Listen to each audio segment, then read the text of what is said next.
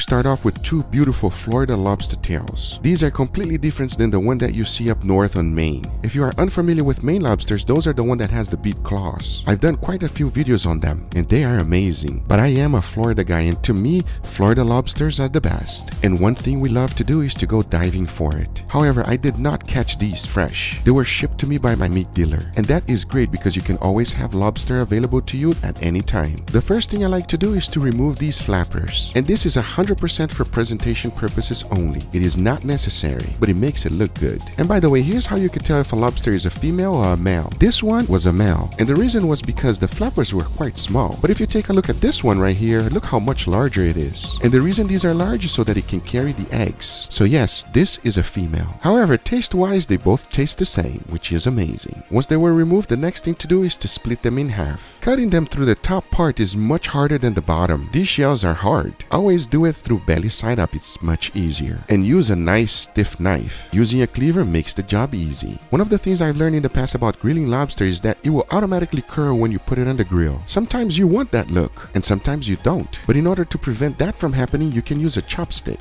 And it's pretty easy to do. Just stick it all the way through and you're good to go. Now, not only this will keep the lobster straight, but it's also easy to move it around when you're grilling it. Just keep in mind that the chopsticks will burn. But once I was done, you can see my lobsters are almost ready for the grill. They are nice and straight and they will stay that way. To season it, I kept it pretty simple with only salt and freshly ground black pepper. The other things I'll be using to add more flavor to the lobster is a grilled lemon. When you grill lemon, they become sweeter and it produces a wonderful flavor. And let's not forget about butter. Seafood and butter were made for each other, and that's something I'll be using to baste. Talking about adding additional flavor, I decided to do an incredible and amazing sauce. And these are all the ingredients I'm going to be using. Remember, exact amount and ingredients always in the description down below for you. One of the special ingredients on this sauce is saffron, which is pound per pound one of the most expensive ingredients in the world. If you are unfamiliar with saffron, let me explain. Saffron is a spice removed from a flower, and we use it in two ways to deliver flavor for your seasoning, and also it's great for coloring.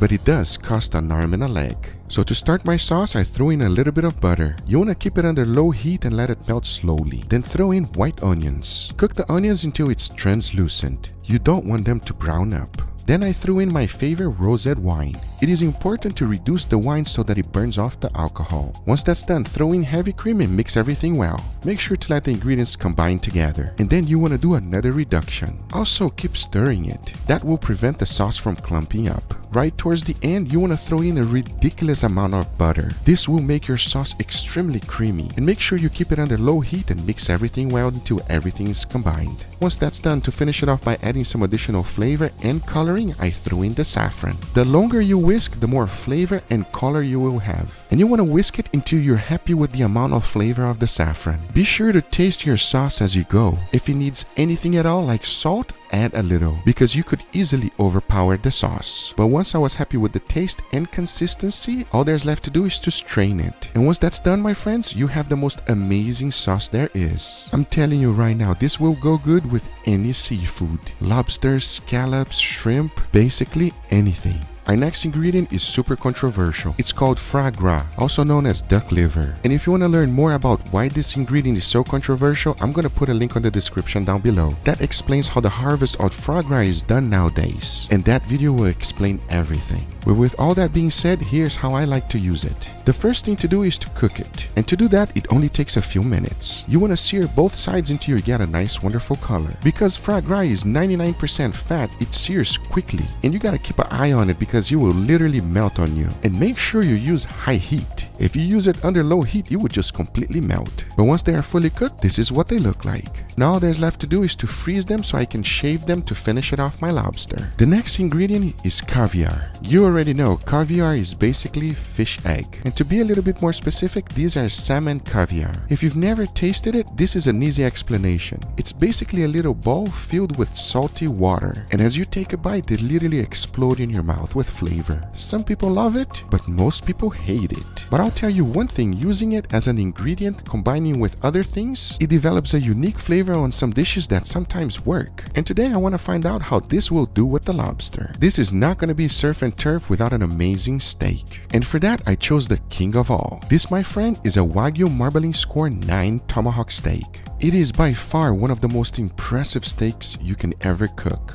When seasoning a piece of meat like this, you must respect it. You don't want to add anything crazy. So for that, I only season it with salt, freshly ground black pepper, and garlic powder. You want to taste the flavor of this meat. Don't mask it with any crazy rub. One thing you gotta remember when grilling a high-end steak like this is that it has a lot of intramuscular fat. And when that fat melts, it starts to break apart on you. And if you don't trust in it with butcher's twine, in the end of your cook, you will not have a tomahawk left. But now that I have my beautiful lobsters ready, I'm going to be cooking them in indirect heat until I reach an internal temperature of 149 degrees Fahrenheit. For my beautiful steak, I'll be first putting a beautiful sear. Then I'll be using my wireless thermometer until I reach an internal temperature of 125 degrees Fahrenheit. But now I say it is enough talking and it is time to make the most amazing surf and turf you've ever seen in your life. So let's do it.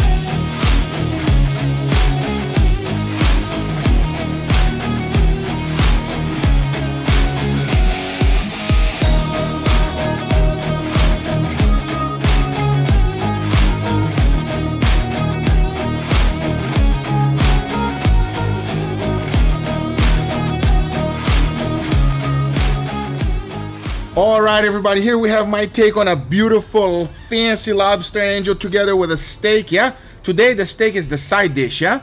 Really? Which one would you like to try first, lobster or steak? The steak? We steak people, everybody. We love some steak, let me tell you something.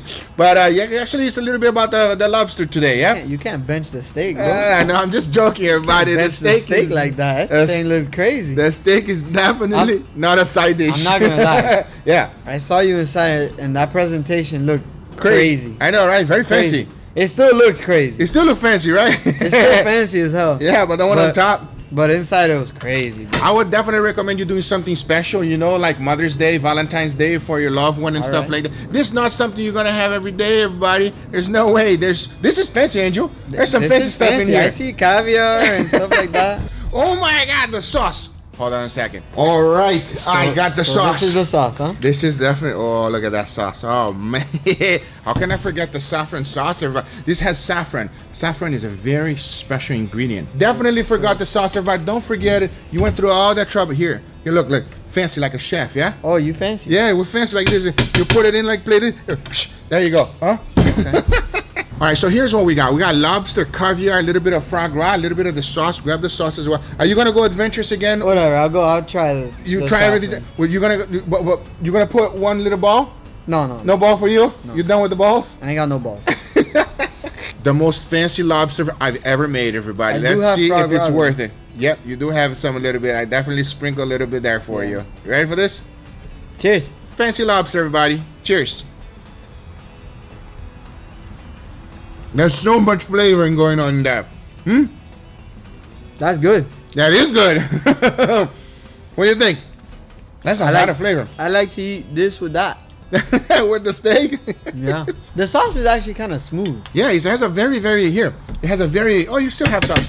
It has a very smooth texture, not overpowering. You know what I mean? Yeah, it's it's it's just normal. Yeah. It's like it's a not not normal like oh it's, It's like a nice balance. It's it. like yeah, exactly. It's like there is not too much of one thing. the sauce has a quite a unique flavor of the saffron. If you don't have saffron available, just don't put it. It's fine.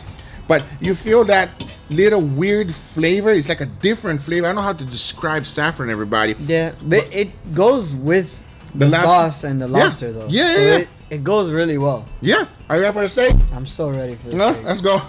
Where do I go? mm, right here. Cheers, everybody. Mmm. So good. Lobster is absolutely phenomenal. but it doesn't compare to a wonderful and desirable steak like this. It's got the charcoal flavor in it. Yeah. So does the lobster, which that's awesome. The fattiness of the wagyu, everybody, as soon as you take a bite, it just literally melts in your mouth. And it coats your entire mouth with that and it's fatness. Stupid juicy. it's so rich. And you gotta cook this one medium rare to rare, everybody. You can't cook a steak like this well done. There's absolutely no way. Mmm. That it just is butter in your mouth basically. And then you bring in the crazy lobster, which is extremely sweet. You throw in a little bit of that sauce, and then you go to the next level if you want, and you grab that caviar. As soon as it explodes in your mouth, that saltiness just coats your entire palate. It's something wonderful, absolutely wonderful. But not something you can have every day though. Anyway guys, these are the results. I hope you guys enjoyed this video. If you do enjoy it, make sure you give it a thumbs up. If you're not a subscriber, be sure to subscribe for future videos. Remember, if you are interested in any of the equipment I use, everything's always in the description down below. Thank you so much for watching and we'll see you guys on the next one. Take care everybody. Bye-bye. We out. so we're out of here. All right, go guys. It's been real. Thanks. Come on, bro. Let me have one more piece at least then.